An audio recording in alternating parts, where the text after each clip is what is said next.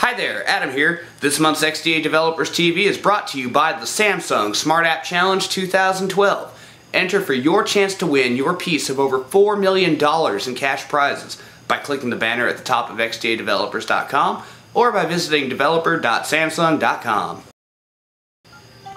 NFC National Fighting Championship.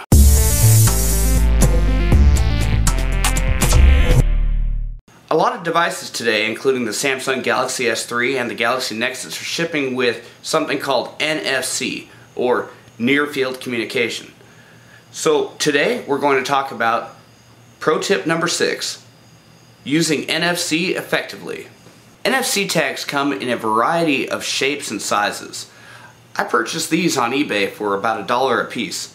These little tiny things can hold up to about a kilobyte of data almost. Not quite. There's two basic ways to use NFC tags. The first way is to use the tag ID that's built into each tag, like a serial number. And when you pass the tag over the device, it sends a serial number over and an application can read that and use that tag to perform an action. Now using the tag ID, we can run an application which handles reading data from the tag and scripting an event on the device. Watch what happens when I pass over this tag.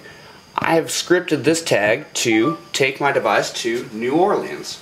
So it'll take a minute, but it will eventually uh, load up map navigation directions to New Orleans. And as you can see, we're routing. Head southeast and I've scripted this tag to change the brightness from minimum to automatic. And as you can see, it got much brighter. Now to script these events for this video, I'm using a program called NFC Retag, which only gives you a certain amount of tries before you have to buy the Pro version. So I'm still looking for a better program. If you have any ideas, please mention it in the comments down below. Now in this next method, I'm going to write data to the tag, and I'm using NXP Writer, and we can hit the create and write button. And I'll go ahead and select XDA developers as the site I would like to write. We'll hit the next button and then place the device over. And it stored the data successfully. Now we can prove that this worked by going to the home screen and then passing our device over that again. And if all worked correctly we should be at going to XDA developers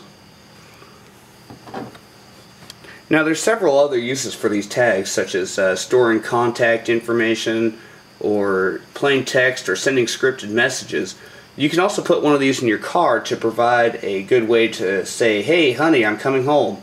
But you're limited to the size of storage space, which is usually anywhere between the size of 2 to 20 Twitter messages. Well now you may be wondering how do these things get power? Well, it uses the same technology found inside of these wall wart transformers. Let me explain a little bit. The way a transformer works is by converting electricity to magnetism and then back to electricity. You see a current flows through one coil which causes it to become magnetic and then in the other coil it ends up doing the same thing and causing electrons to flow. You see that's very similar to the way the NFC in a phone works. You have a coil here that's powered and it's sending out magnetism, and then here you have another coil, which when it gets close enough to be affected by the magnetic waves, it then induces a current inside of here, which then turns on a microchip inside of here and sends information over to the phone. And you end up with data transmission. So I'm going to go visit the XDA forums. And that's all for this episode. Don't forget to add me to your circles on Google Plus and subscribe to this YouTube channel. Until next time, hack on.